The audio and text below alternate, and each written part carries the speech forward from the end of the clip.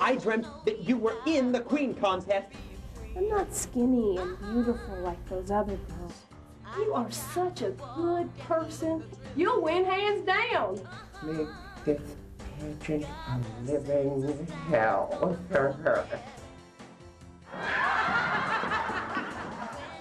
You don't have the clothes, you don't have the talent, you certainly don't have the looks.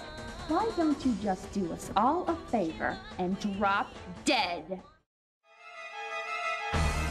I'm not gonna take it anymore. I'm gonna kill I'm gonna kill them. I'm gonna kill them!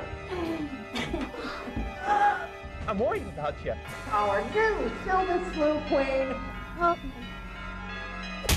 Thank you so much. Ah! Gonna be the next Slough Queen. no, I'm not. I'm not gonna get murdered. You can't leave me! Phyllis Loden! Beauty Queen Butcher.